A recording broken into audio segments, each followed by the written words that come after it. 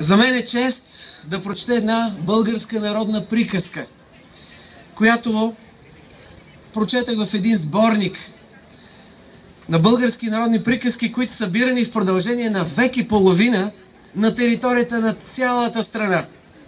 Фолклористите са записали и обнародвали повече от 5500 варианта на български народни приказки. От това безценно богатство, разбира се, в това прекрасно издание са събрани няколко. Аз искам да ви прочета една от тях. Приказка за неволята. Един човек имал двама сина. Ходил в гората за дърва и водил със себе си по един от синовете. Веднъж ги пратил сами да отидат в гората. Деца, хайде идете сами в гората, аз ще остана вкъщи. А те му рекли, тате, ако ни се щупи каруцата, кой ще ни я поправи? Синко, ако ви се щупи каруцата, вие викайте неволята. Тя ще дойде да ви я направи.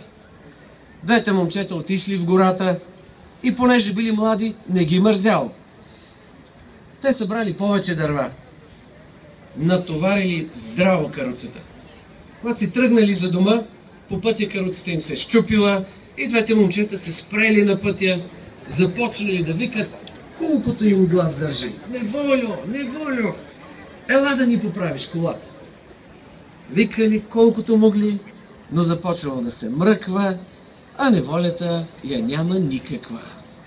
Най-накрая по-младият брат казал, брате, тази проклета неволя няма да дойде. Ами да вземем, ако можем, сами да си оправим каруцата. А брат му му отговорил, може неволята да е далече в гората и да не ни е чула, затова хайде и двамата да викаме колкото можем. Пак викали, викали, чак гърлата им се продрали. А нея няма и няма. По-младия брат пак рекал, хайде брате, мръкна се, да не я чакаме повече, Та кой знае, че я каруца тя някъде поправи.